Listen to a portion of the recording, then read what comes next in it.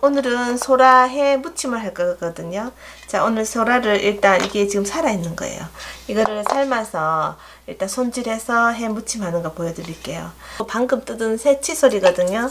자, 새치솔로 이렇게 이게 바닷속에 오래 있으면서 바다에 찌꺼기들이 많이 쌓여 있겠죠. 이걸 이렇게 깨끗하게 씻은 다음에 삶겠습니다. 이거를 소라를 삶아서 까서도 한번 헹구겠지만 미리 이렇게 삶기 전에 껍질도 깨끗하게 씻어야 될 것 같아요. 삶는 걸 보여드릴게요.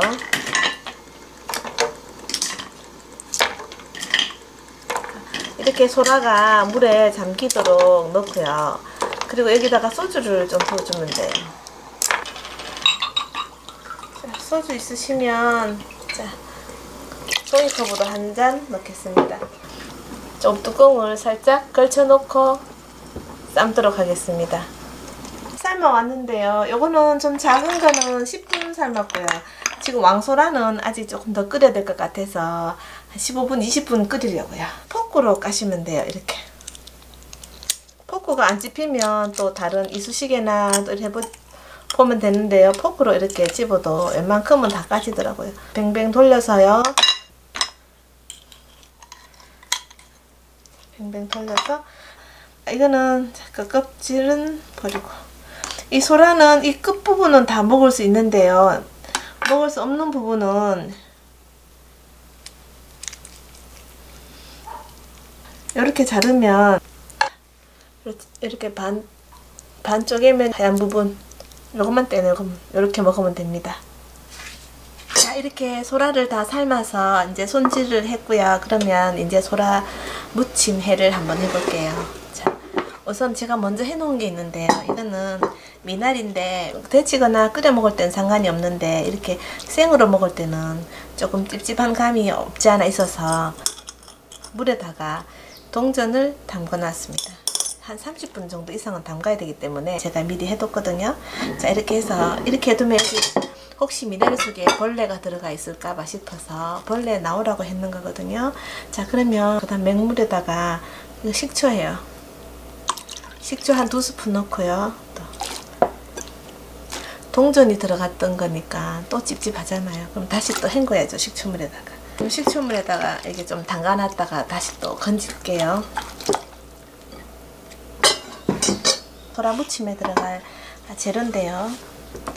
자, 소라가 어느 정도 양이냐면 이렇게 이 정도 양이라고 보시면 돼요. 야채를 먼저 준비할게요. 양배추는 너무 두꺼운 거는 빼고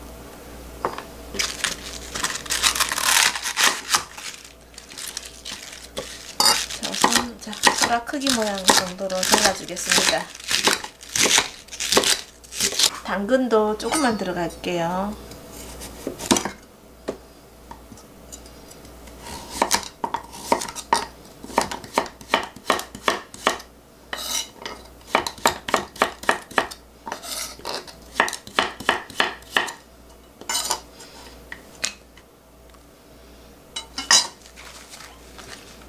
그리고 양파 저는 적 양파를 썼거든요. 이게 색깔이 이뻐서 이거는 오늘은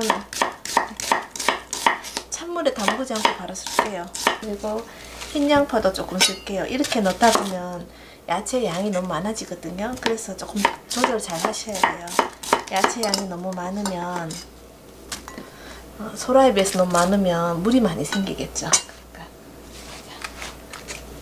오이를 넣으실 경우에는 이렇게 오이를 겉부분만 쓸 거예요. 이렇게 돌려깎기 해가지고. 근데 오늘은 오이 많이 안 써도 돼요.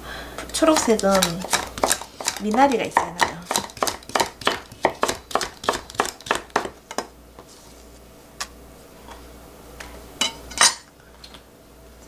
이거는 대파고요. 조금만 쓸게요.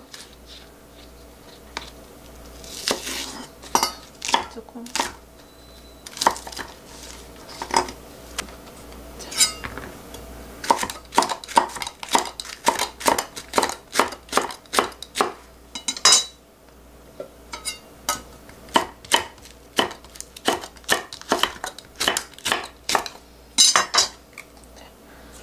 깻잎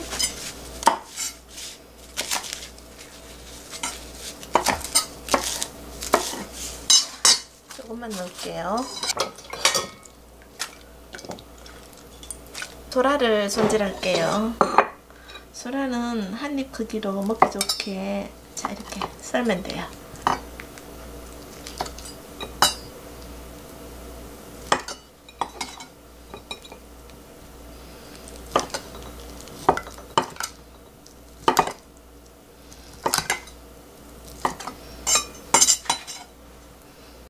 이제 무침 양념 할게요.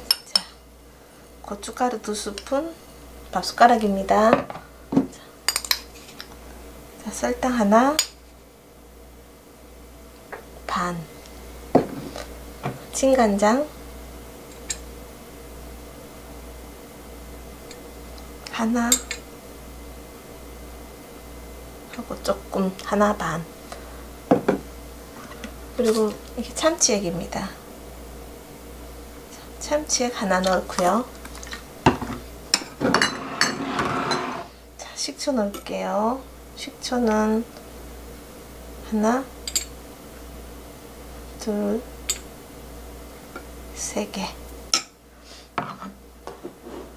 자, 고추장 넣겠습니다. 고추장은 이렇게 한 스푼. 이거 생강 다져 놓은 건데요. 자, 이렇게.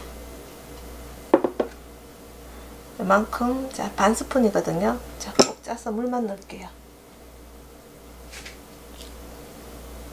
건더기가 들어가면 씹히니까 자, 이렇게 물만 넣고요.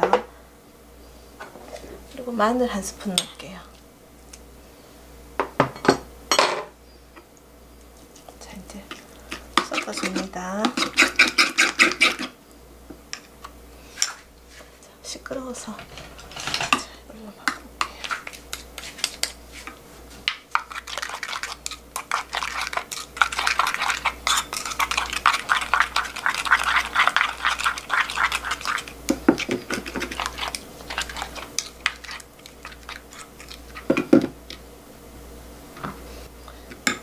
식초 하나 더 넣을게요. 그러면 식초 4개입니다. 그리고 참기름 한 스푼.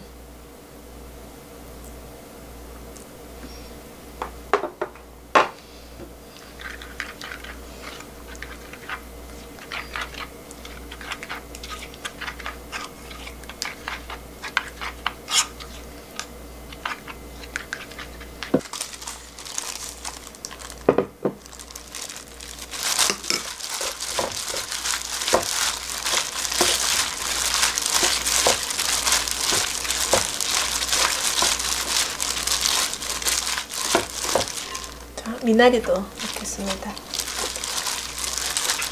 그리고 마지막에 소라.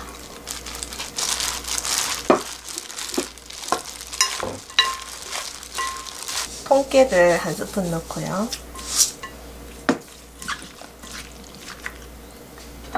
검은깨입니다. 검은깨도 자반 스푼. 이제 다 묻혔습니다. 이제 담아 볼게요.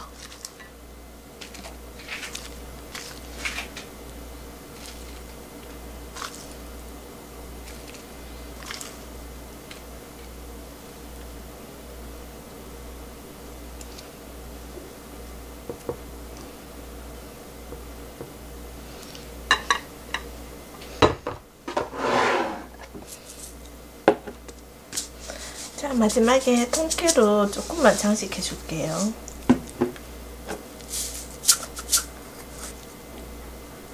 이렇게 다 됐습니다. 상어 이모였습니다. 감사합니다.